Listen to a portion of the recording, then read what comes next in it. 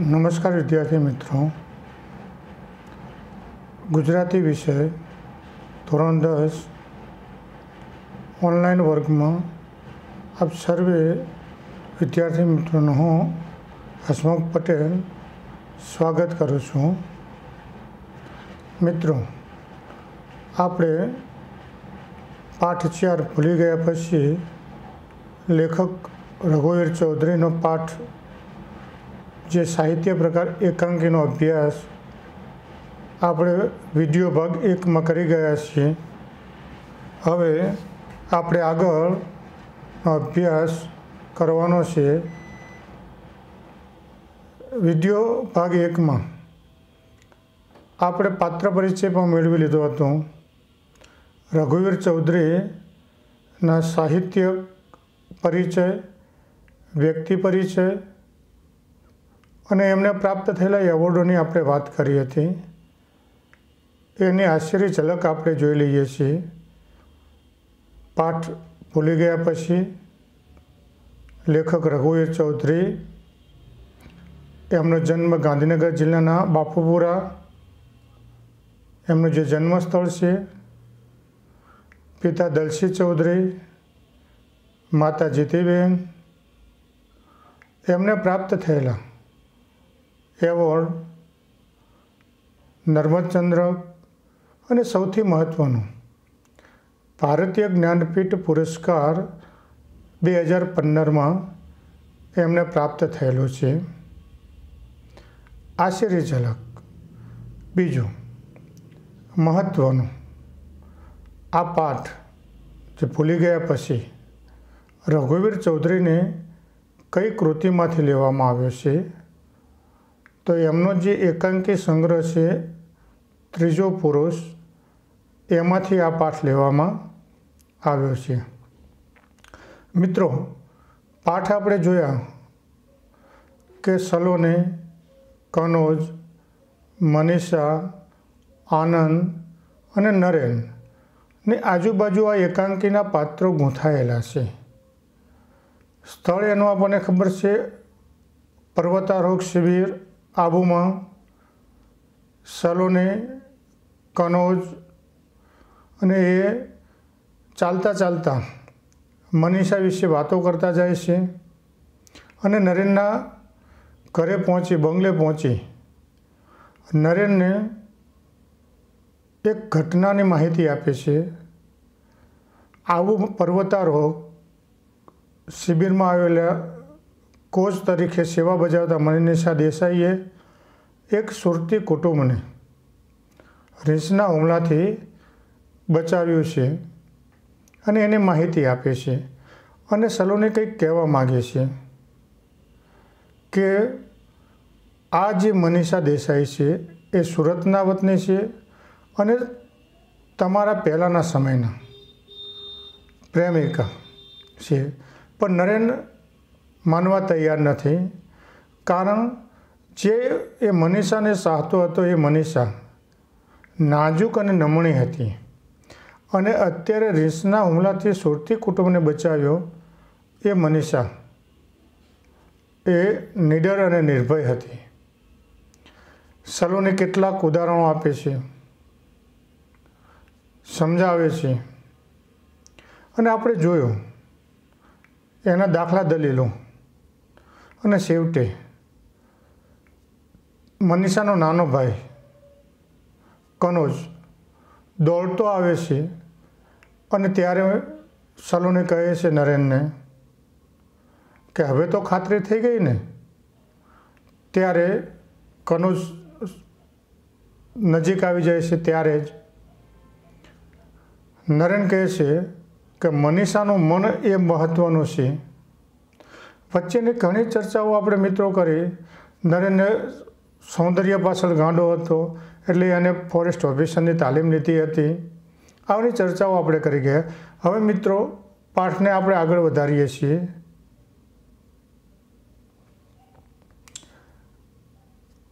નરેન, પણ તારા પપ્પા આમ એકાએક આનંદ? ના. મનીષાના પરાક્રમ વિશે છાપામાં વાંચ્યું હશે. અભિનંદન આપવા પધારતા હશે. નરેન, મનીષા કોણ? આનંદ, હં? તમે પૂછો છો. મનીષા કોણ? એની હાજરીમાં આવો પ્રશ્ન ન કરતા, નહીં તો તે આત્મહત્યા કરશે.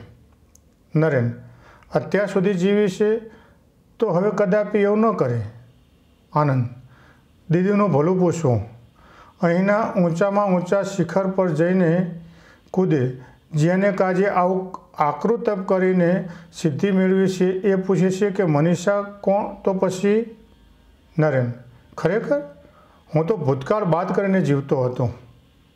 મિત્રો, નરેન અને આનંદના સંવાદો, મનીષા એ જ છે, એ નરેનને હવે ખાતરી થઈ ગઈ છે. અને આનંદ પણ. મનીષાએ આ જે સિદ્ધિ મેળવી છે, એ આકરું તપ કર્યું છે. એ નરેનના કારણે જ આકરું તપ કર્યું છે અને હવે જો જેના માટે પોતે કાર્ય કર્યું હોય અને એ જ પૂછે કે આ કોણ, તો આઘાત લાગે. એટલે આનંદ એ નરેનને આ બધી વાતો કરે છે. નરેન કે હું ભૂતકાળ બાદ કરીને જીવતો હતો. આનંદ. મનીષે યાદ કરીને જીવતી હતી. ખરેખર તો એમ કહેવું જોઈએ કે એ ભવિષ્ય માટે જીવતી હતી. પપ્પાએ તમારી સાથે એની સગાઈની ના પાડી એનો આઘાત સમજવાની ત્યારે મારી ઉંમર ન હતી. છતાંય મેં એની તરફેણમાં દલીલ કરી હતી. પપ્પાએ મને કહેલો, જા. મનીને કહે કે એક ગરોળી પગડી લાવે, તુરત આ પાડી દઉં. એમની વાત સાચી હતી. મનીષા ત્યારે સુકુમાર તો હતી જ, ડરપોક પણ હતી. પપ્પાને ખાતરી હતી કે સિંહને એકાદ ત્રાડ સાંભળીને મનીષા મરી જશે અને નરેન્દ્ર કુમારે વિધુરનું જીવન જીવવું પડશે. પણ હવે આખી વાત બદલાઈ ગઈ છે. પપ્પા ઘણા વખતથી તમારું સરનામું શોધતા હતા. એ મનીષા પાસેથી જાણે છે તો સીધે, સીધા અહીં જ આવશે. મિત્રો, હવે જુઓ અહીંયા પણ આપણે જોઈએ છીએ કે મનીષાના પપ્પાએ મનીષાના લગ્ન નરેન સાથે કેમ કરવાની ના પાડી? તો નરેન જંગલ ખાતાનો અધિકારી હતો વન અધિકારી ફોરેસ્ટ ઓફિસર અને એને જંગલમાં રહેવું પડે અને એકાદ સિંહની ત્રાટ જો પડે તો મનીષા મરી જાય એવું એ વિચારતા હતા. એટલે પોતાની પુત્રીને આવા જોખમમાં નાખવા માગતા ન હતા એટલા માટે એમને જે મનીષાના પપ્પાએ નરેન સાથે લગ્ન કરવાની ના પાડી. પણ આનંદને એક વાત કહે છે, જા, મને. એટલે કે મનીષાને કહે કે, એક ગરોળી પકડી લાવે તો હું એને નરેન સાથે લગ્ન કરાવી દઉં. શબ્દાર્થો મિત્રો જોઈએ છીએ ત્રાડ, એટલે કે ગર્જના વિધુર, જેની પત્ની મૃત્યુ પામી હોય તેવો પુરુષ.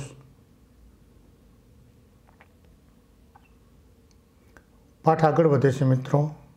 નરેન, આ બધું માન્યમાં આવે એવું નથી. વધુ પડતું સારું લાગે છે. જેને માટેની મારી યોગ્યતા મેં કદી કલ્પી પણ ન હતી. જીવન જીપનું હોર્ન સંભળાય છે. આનંદ, દીદી હોર્ન વગાડતી લાગે છે. હું જાઉં. નરેન ખરેખર તો મારે જવું જોઈએ, પણ જો એ અહીં આવવા માગતા ન હોય તો?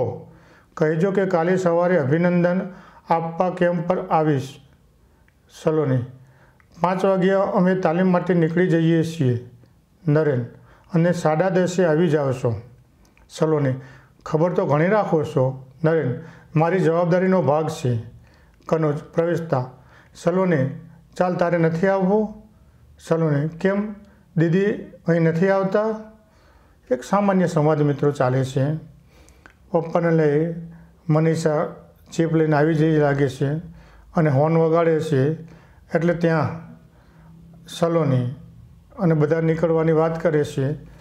નરેન પોતાની એક જવાબદારીના ભાગરૂપે ત્યાં આવતા વ્યક્તિઓની માહિતી રાખે છે. એટલે નરેન કહે છે કે, ખબર તો ઘણી રાખો છો.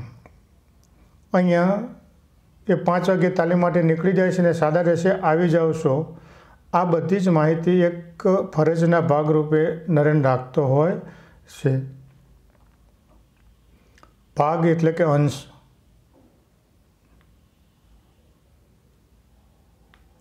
કનુજ, એ આવે છે, પણ હું અને આનંદ વિરાટ બાબુને ગેસ્ટ હાઉસ મૂકવા જઈએ છીએ, સલોની. એમને નરેનભાઈ વિશે કશી ખબર નથી? કનુજ દીદીએ કશું કહ્યું નથી. સલોની તો જીપ અહીં કેમ લાવ્યા? કનુજ, આનંદ અને તને લેવા. ચાલ, આવજો નરેનભાઈ. નરેન, આવજો. ગેસ્ટ હાઉસ, મહેમાનોને ઉતરવા માટેનું સ્થાન. મિત્રો, વિરાટ બાબુને લઈ બસ સ્ટેન્ડથી આવી જાય છે અને અહીંયા જે સલોને અને એ હોય છે, એમને લેવા માટે જીપ ઊભી રાખી હોય છે અને ત્યાંથી એ આગળ વધે છે. સલોની અને કનોજ જાય છે. નરેન થોડાક ડગલા ચાલે છે. જીપ ઉભરવાનો અવાજ, અરે, એક માણસને મૂકીને જીપ ઉપડી ગઈ? શું એને માટે એમાં જગ્યા નહીં હોય કે? એ મનીષા હશે? અહીં જ આવે છે? સામે જતાં, આવ મનીષા, આ છોકરાઓએ ભૂમિકા તૈયાર કરી ન હોત તો હું તને ઓળખી શક્યો ન હોત. તું તો જાણે છે કે સુંદરીમાંથી શક્તિ બની ગઈ છે, તે એક કુટુંબને બચાવ્યું એ બદલ અભિનંદન. પૂર્વ ભૂમિકાઓ સલૂનીએ બાંધી દીધી હોય છે. મનીષાને મૂકી જીભ આગળ વધી જાય છે અને મનીષા નરેન પાસે આવે છે અને નરેન એને અભિનંદન આપે છે.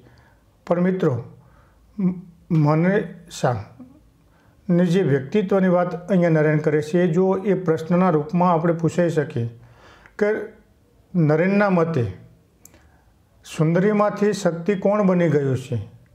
તો કે મનીષા, આ પ્રશ્ન મિત્રો પૂછાય છે કે મનીષા સુંદરીમાંથી શક્તિ બની ગઈ છે એ નરેનના મતે આપણે કહી શકીએ. શબ્દાર્થ આપણે જોઈએ છીએ મિત્રો. આભાર. મને હતું કે આ સ્વરૂપે જોઈને તું મને ભેટી પડે છે.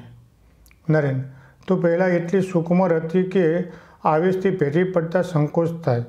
અને હવે તો એવી દીપ્તવંત લાગે છે કે તારા તેજને અદબ રાખવાનું મન થાય સાચે જ.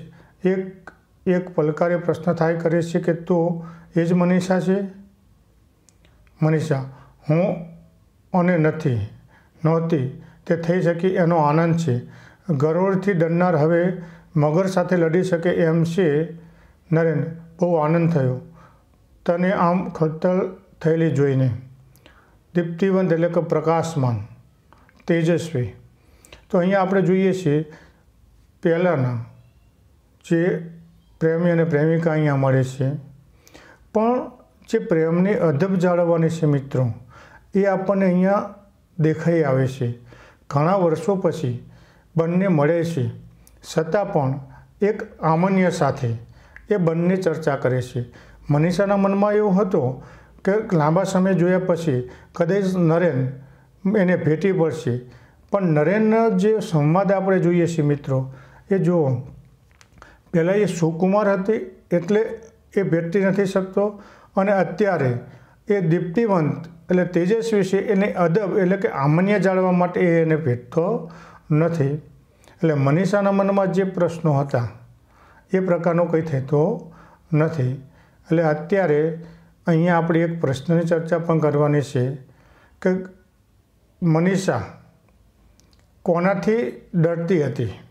તો કે ગરોળીથી અને હવે એટલી શક્તિશાળી બની છે કે ગરુડથી ડરનાર હવે મગર સાથે લડી શકે એમ છે. તો કે ગરુડથી ડરનાર હવે કોની સાથે લડી શકે એમ છે? આવો એક પ્રશ્ન આવે તો ગરુડથી ડરનાર હવે મગર સાથે લડી શકે એમ છે.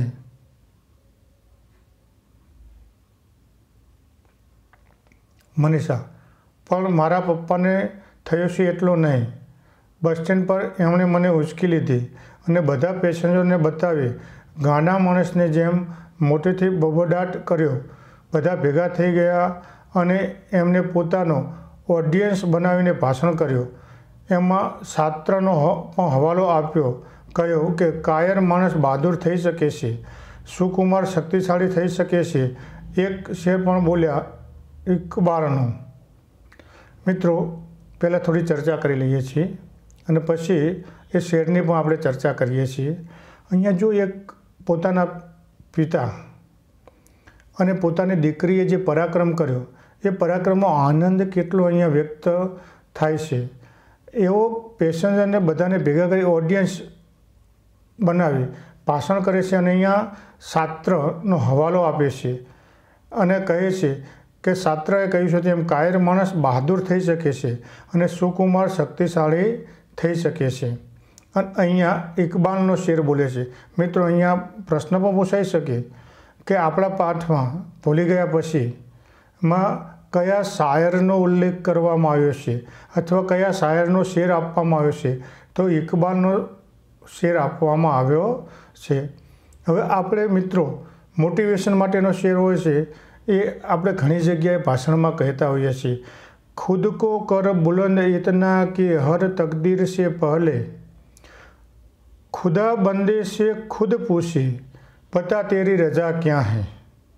મિત્રો, ફરી વખત, ખુદી કો કર બુલંદ ઇતના કે હર તકદીર સે પહેલે, ખુદા બંદે સે ખુદ પૂછે, બતા તેરી રજા ક્યાં હૈ? એના શબ્દાર્થ પહેલાં જોઈ લઈએ છીએ, પછી શેરની સમજૂતી લઈએ છીએ મિત્રો. ઓડિયન્સ એટલે પ્રેક્ષકો છાત્ર ફ્રેન્ચ ફિલોસોફર છે, હવાલો, અખ્તિયાર અથવા સત્તા, કાયર, ડરપોક, બીકણ, શેર, ફારસી કવિતાની કડી, બુલંદ, ભવ્ય, ઊંચી યોગ્યતાવાળું, તકદીર, નસીબ, ખુદા, ઈશ્વર બંધો, સેવક કે દાસ, ખુદ, પોતે, રજા, મરજી, ઈચ્છા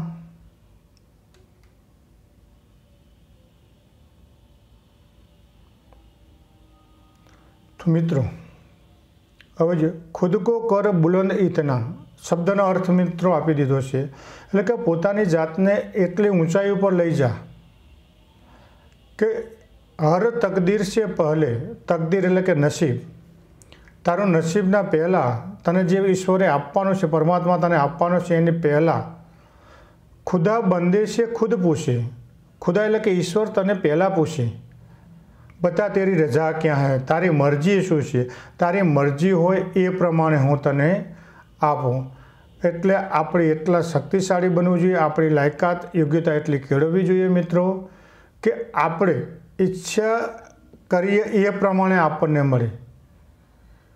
કોઈ આપણને આપે અને આપણી ઈચ્છા પ્રમાણે આપે, એમાં બે વસ્તુ જુદી છે. ચલો મિત્રો આગળ. નરેન, વાહ! હું ત્યાં હાજર હોત તો તારી પ્રશંસા સાંભળીને ધન્ય થઈ જાત, મનીષા. અથવા મારા પપ્પાને સીધા દવાખાને લઈ જાત. આવે સમય જતાં એ રડવા લાગ્યા. એ તો અમે સોગંદ દઈને જીપમાં બેસાડી દીધા, નહીં તો સાપા માટે એક બીજા સમાચાર બનત દીકરીના પરાક્રમથી પાગલ બની ગયેલા પિતા. અને એમનો આનંદ ખરેખર તો પોતે ખોટ્યા પડ્યા તેનો હતો. મિત્રો, અને કઈ બાબતે? નરેન પૂછે છે, મિત્રો, આપણને ખબર છે કે મનીષાના પપ્પા, મનીષાને નાજુક અને નમણી માનતા હતા. અને એ ડરપોક હતી એટલા માટે નરેન સાથે એમને લગ્ન કરવાની ના પાડી હતી. અને આજે દીકરીએ એક પરાક્રમ કરી બતાવ્યું છે કે એક સુરતી કુટુંબને રીંછના હુમલાથી એને બચાવ્યું છે. તો એ પોતાની દીકરી નાજુક અને નમણી છે, એની જગ્યાએ આજે મજબૂત અને ખડતલ અને આત્મનિર્ભર બની છે. એટલે પોતે જે માન્યતા ધરાવતા પોતાની દીકરી માટે એમાં ખોટા પડ્યા છે. એટલા માટે આજે એમને આનંદ છે. પ્રશંસા, વખાણ સોગન કસમ, શપથ.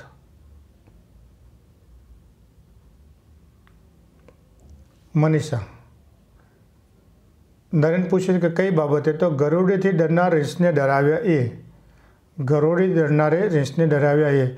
પપ્પા મોટેથી કહેતા હતા, સાંભળો હે મુસાફરો, દુનિયાથી થાકેલા લોકો, સાંભળો, માણસ માટે કશું અશક્ય નથી. ફરી વખત મિત્રો શાસ્ત્રનો ઉલ્લેખ કરે છે. શાસ્ત્ર કહે છે તેમ, એ આકાશના તારા સુધી પહોંચી શકે છે.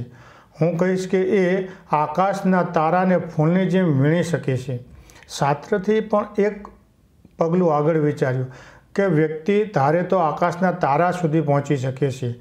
પણ અહીંયા નરેન વિરાટ બાબુ જે મનીષાના પપ્પા હોય છે, તે કહે છે કે આકાશના તારા સુધી તો પહોંચી શકે છે, પણ એ આકાશના તારાને ફોનની જેમ વીણી શકે છે. એટલો સશક્ત વ્યક્તિ જો ઈચ્છે તો બની શકે. પપ્પા શિકારી હતા ને એકવાર મમ્મીને સાથે લઈ ગયેલા. એની ઈચ્છા નહોતી, આજ્ઞા માની ગયેલી. માછડા પર હોવા છતાં નીચે વાઘની સલાંગ જોઈને એ ચીસ પાડી ઉઠેલી. એ પછી હૃદયના ધબકારાનો દર કોઈ ઉપાય દૂર ન થયો. તે ન થયો.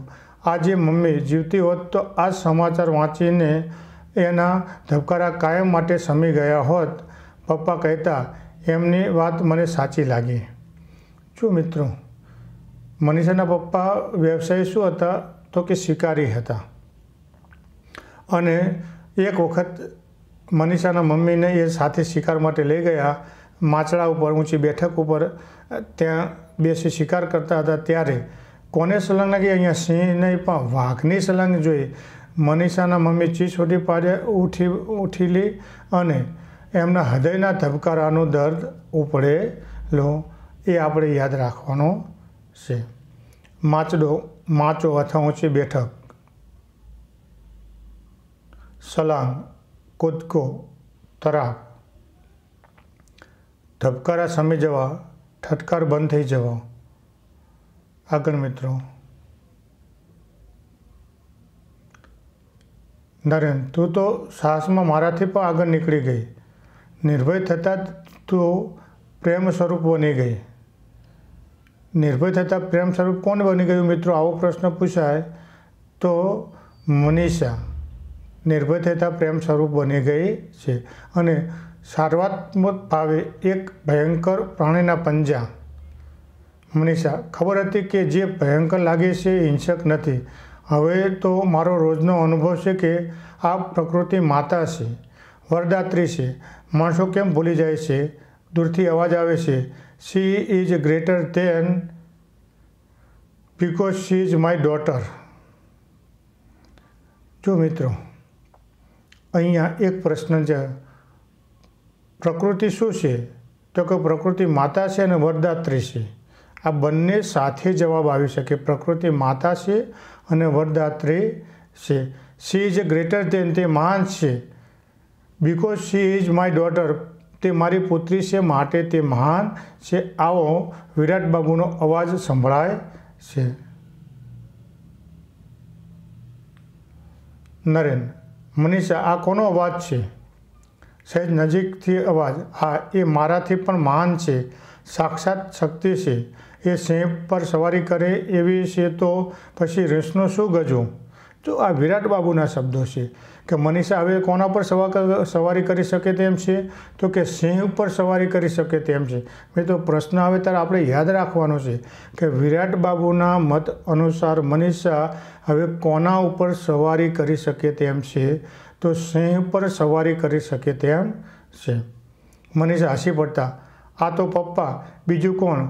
સાચે જ એમનું ચસકી ગયું છે. ચસકી જવું એટલે કે પાગલ થઈ ગયા લાગે છે. અવાજ, આ વિશ્વમાં સૌથી સુખી માણસ હું છું.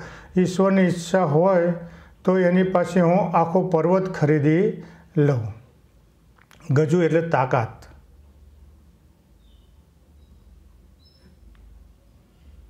વિરાટ નો નેવર. હું કંઈ યુધિષ્ઠિર નથી કે એકે વાર શા માટે ખોટું બોલો?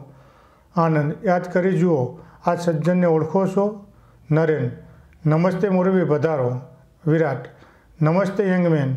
આનંદ, પપ્પા, આ નરેન્દ્ર કુમાર છે, આબુ ફોરેસ્ટ ઓફિસર, જેમની આગળ તમે એકવાર ખોટું બોલેલા.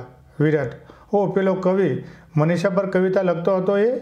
નરેન, હવે કોઈના પર કવિતા લખતો નથી. વિરાટ, તો મારા પર લખ. હું આજે સૌથી સુખી છું. Most happy man in the universe universe એક શું બે કવિતા લખ. Most happy man in the universe આખા વિશ્વમાં, આખી દુનિયામાં બ્રહ્માંડ યુનિવર્સ એટલે બ્રહ્માંડમાં આ સૌથી સુખી માણસ હું છું. એટલે મારા પર આજે તું કવિતા લખ, એક ને બે કવિતા પણ લખ. ને દુઃખી માણસ સુખી વિશે લખીએ તો સાચો અર્થ ભાગ્યે જ પ્રકટ થાય. એટલે મિત્રો કારણ કે જે દુઃખી હોય એ સુખ વિશે ન લખી શકે અને સુખી હોય એ દુઃખ વિશે ન લખી શકે.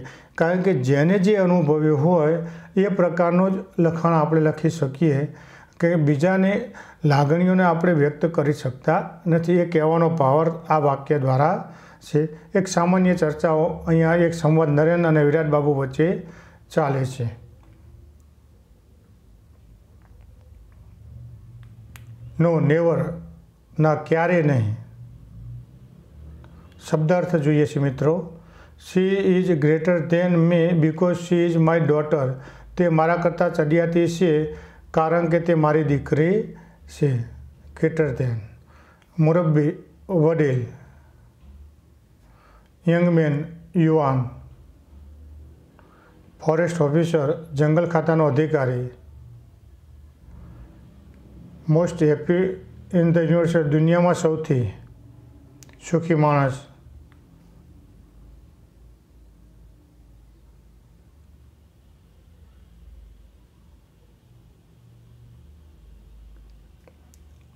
વિરાટ. તને શું દુઃખ છે ભાઈ? આ મારી પરી જેવી નાજુક છોકરી તારું નામ રટી રટીને તપ કરતી રહી અને એ અને એક પછી એક શિખર જીતતી રહી ને તું તારી જાતને દુઃખી માને છે?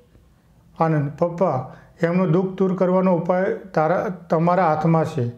વિરાટ, શું મનીષા, આ તારો તોફાનીભાઈ સાચું કહે છે? તારું મૌન સંમતિ સૂચવે છે. અલ્યા, છોકરાઓ, પેલી મીઠાઈ લાવો. અરે, આનંદ, તું જીપ લઈને જા. કોઈ જોશી બોશીને પગડીને ઉઠાવી લાવ. રટવો, રટણ કરવો, સતત નામ લીધા કરવો. જો મિત્રો, મનીષા પોતાના પ્રેમીને ભૂલી નથી. એને યાદ રાખી.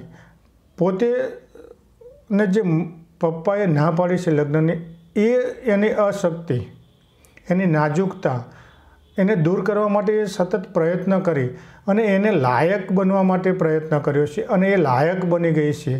અને આજે જુઓ મિત્રો, એ લાયકાતના કારણે આજે જે વ્યક્તિ આનંદ સાથે, નરેન્દ્ર સાથે લગ્ન કરવાની ના પાડતા હતા, એ જ પપ્પા આજે એ લગ્ન કરવા તૈયાર થઈ ગયા છે. એટલે મિત્રો, લાયકાત કેળવવી પડે. લાયકાત કેળવીએ તો જ આપણને ઈચ્છિત ફળ પ્રાપ્ત થતું હોય છે. અહીંયા જો એક વાક્યમાં કોઈ જોશી બોશીને પકડીને ઉઠાવી લાવ, એટલે ઉઠાવી લાવવો અને બોલાવી લાવવો એ શબ્દના અર્થમાં ઘણો ભેદ છે. કેટલો આનંદ અહીંયા ઝલકે છે કે તાત્કાલિક ઉપાડી લાવ. એ હાજર આ પાડે, ના પાડે, એને પરવા નથી કરે. જોશીને ઉઠાવીને જ લાવવાનો છે. એટલે કે અપહરણ કરવાનું છે એનું. એ આનંદ વ્યક્ત કરવાના શબ્દો અહીંયા આપણે જોઈએ છીએ. મનીષા, પણ પપ્પા, પાંચ પાંચ વર્ષ સુધી કોઈ, કોઈને યાદ રાખી શકે? વિરાટ, હજી ક્યાં પાંચ પૂરા થયા છે? છ માસ બાકી છે. એ પહેલાં તો હું તમને પ્રણાવી દઈશ. નરેન, એની ઉતાવળ નથી. મનીષા મન, મનમાં હતી, છે અને રહેશે. જો પ્રેમ કોઈ મુદતી વસ્તુ હોય તો અમે આ શિખરો ભણી ગતિ કરી ન હોત. રહેવા દે આનંદ. મનીષા, હા, જોશીને બોલાવવાની જરૂર નથી. પહેલાં તો હું આ શિબિર પૂરી કરીશ. પછી અમે થોડા દિવસ સાથે હરી, ફરીશું. જૂનો સમય તાજો કરીશું. કનોજ સલોને આ ધીરજ આપણે રાખી શકીશું? આપણે તો નક્કી કર્યું હતું કે સલોને માત્ર મીઠાઈ ખાવાનું નક્કી કર્યું હતું. આપણે આ શિબિરમાં સાહસ શીખવા આવ્યા છીએ. દુઃસાહસ નહીં, ખરું ને દીદા, દાદાજી? મિત્રો, જો પ્રેમમાં ક્યાંય આવેગ નથી દેખાતો? અહીંયા લગ્ન કરવા માટે પપ્પા ઉતાવળા છે છતાં પણ ઘણા સમય બાદ મળ્યા છે, મનીષા અને નરેન. અને એટલે જ નરેન કહે છે, કોઈ ઉતાવળ નથી. કારણ પ્રેમ એ કોઈ મુદતી, ચોક્કસ સમયગાળા માટેનો નથી હોતો. એ આંતરિક પ્રેમ હોય છે. એટલા માટે એની ઉતાવળ કંઈ નથી. આજે મળ્યા એટલે આજે લગ્ન કરી લેવા એવી ઉતાવળ કરવાની ક્યાંય જરૂર નથી. અમને પ્રેમ હતો, રહેશે. એમાં ક્યાંય ઓટ આવવાની નથી. અને એ પ્રેમના કારણે જ એવો આટલા શિખરો, એટલે કે સફળતા પ્રાપ્ત કરી શક્યા છે એવું અહીંયા આપણને સમજાઈ શકે છે. અને જો કનોજ અને સલોની કે આપણે ધીરજ બીજા વ્યક્તિઓ ઉતાવળા છે એમને ધીરજ નથી, એમને બંનેને લગ્ન કરાવવાની ઉતાવળ છે કે બંને લગ્ન કરી લે. પણ જેને લગ્ન કરવાના છે, એમને ક્યાંય જ ઉતાવળ નથી. લાંબા સમય પછી મળ્યા છે, છતાં પણ ઉતાવળ નથી. મુદતી ચોક્કસ સમયગાળાનો મિત્રો, આ શબ્દો યાદ રાખવો પડશે આપણે. શબ્દાર્થમાં પૂછાય કે મુદતી એટલે શું છે કે ચોક્કસ સમયગાળાનો? પ્રેમ કોઈ ચોક્કસ સમયગાળાનો હોતો નથી. ધીરજ, ધૈર્ય, દુસાહસ, ખોટું જોખમ,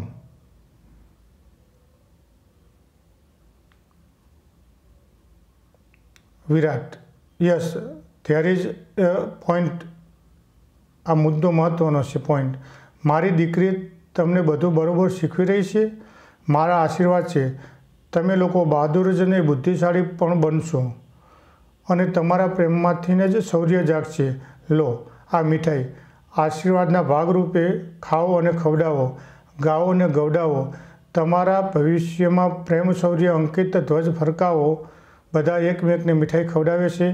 વિરાટ બાબુ ગાય છે. ધ્વજ પ્રકાશે જળ જળ કસુંબી. પ્રેમ, શૌર્ય, અંકિત. રઘુવીર ચૌધરીના ત્રીજા પુરુષમાંથી આ એકાંકી લેવામાં આવ્યું છે. મિત્રો, yes there is a point આ આ જ વાત છે. અંકિત અંકાયેલો કોતરાયેલો. તો મિત્રો, અહીંયા પ્રેમરૂપી, પ્રેમના શૌર્યરૂપી અંકિત થયેલા ધ્વજને ફરકાવવાની વાત કરે છે. એટલે કે સાચો પ્રેમ કયો છે, એ આપણને અહીંયા ખ્યાલ આવે છે. બે વસ્તુ મિત્રો આ એક અંકમાંથી આપણને જાણવા મળી. જે શરૂઆતમાં વીડિયો ભાગ એકમાં પણ કહ્યું હતું કે સાચો અને શુદ્ધ સાત્વિક પ્રેમ કોને કહી શકાય? જે ધીરજ હોય એને બનવા માટે આપણે લાયક બનવું પડે. અને કોઈ ચોક્કસ સમયગાળાનો નથી હોતો કે મુદતી નથી હોતો. અને બીજું કે નાજુક અને નમ્ર વ્યક્તિ હોય પણ એ જો ધારે ઈચ્છે તો પોતે નિર્ભય નિડર બની શકે છે. આ આપણને આ એકાંકીમાંથી બોધપાઠ પ્રાપ્ત થાય છે. કેટલાક પ્રશ્નો મિત્રો જોઈ લઈએ છીએ. મનીષા દેસાઈએ સુરતી કુટુંબને કોના હુમલાથી બચાવ્યું હતું? રીસના હુમલાથી બચાવ્યો હતો. નરેને કઈ તાલીમ મેળવી હતી? વનરક્ષકની તાલીમ મેળવી હતી. મિત્રો, પ્રશ્નો નોંધી લેજો. આબુમાં કોચ તરીકે સેવા આપનાર બહેનનું નામ જણાવો. મનીષા. સલોનીના મતે એક વખત પ્રેમમાં પડેલ કન્યાનું મન કોના જેવું હોય છે?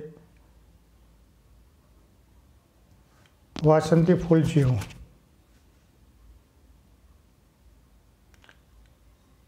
ગરોડીથી ડરનારી મનીષા હવે કોની સાથે લડી શકે એમ છે? મગર સાથે. રીસ માણસને જોઈ શું કરે છે? જનોનથી પ્રતિકાર કરે છે. નરેન લગ્નમાં માગા પાછા ઠેલવતો હતો કારણ કે જે કન્યા પર કવિતા લખતો હતો તેને લગ્નની ના પાડી હતી માટે. નરેન આબુમાં કયા પદ પર હતો? વનાધિકારી તરીકે. નરેને ફોરેસ્ટ ઓફિસરની તાલીમ લીધી કારણ કે તે નૈસર્ગિક સૌંદર્ય પાછળ ગાંડો હતો. મિત્રો, ત્યારે પણ ચર્ચા કરી હતી આ વાક્ય. એ સલોનીના મમ્મી બોલે છે. ભૂલી ગયા પછી પાઠના લેખકનું નામ જણાવો. રઘુવીર ચૌધરી. રઘુવીર ચૌધરીના પિતાનું નામ જણાવો. દલછી ચૌધરી. રઘુવીર ચૌધરીનું જન્મસ્થળ જણાવો. બાપુપુરા. ભૂલી ગયા પછી પાઠનો સાહિત્ય પ્રકાર જણાવો. એકાંકી. ભૂલી ગયા પછી પાઠ કઈ કૃતિમાંથી લેવામાં આવ્યો છે? ત્રીજો પુરુષ. કોને ગોપિત વાણી સમજાતી નથી? નરેનને. સલોનીના મમ્મી નરેનભાઈ શું થશે એમ કહેતી હતી? મોટા કવિ થશે એમ કહેતી હતી. નરેન કોના પર કવિતા લખતો હતો? મનીષા પર. નરેન કોની પાછળ ગાંડો હતો? માનવ હૃદયના સૌંદર્ય પર નરેન ગાંડો હતો. નરેન મનીષાને શું માનતો હતો? નરેન મનીષાને કવિતા માનતો હતો. નરેન શું ભૂલી જીવતો હતો? નરેન ભૂતકાળ ભૂલીને જીવતો હતો. કોની ત્રાટ સાંભળી મનીષા મરી જાય તેમ હતી? સિંહની ત્રાટ કોણ સુંદરીમાંથી શક્તિ બની ગયું હતું? મનીષા. નરેનના મતે મનીષા કેવી લાગે છે? દીપ્તિવંત. મનીષાના પપ્પા કોનો શેર બોલ્યા હતા? ઇકબાલનો. મનીષા પ્રેમ સ્વરૂપ ક્યારે બની ગઈ? નિર્ભય થતા. પ્રકૃતિ શું છે? માતા અને વરદાત્રી. મનીષા આના પર સવારી કરી તેવી સક્ષમ છે. સિંહ પર સવારી કરવા સક્ષમ છે.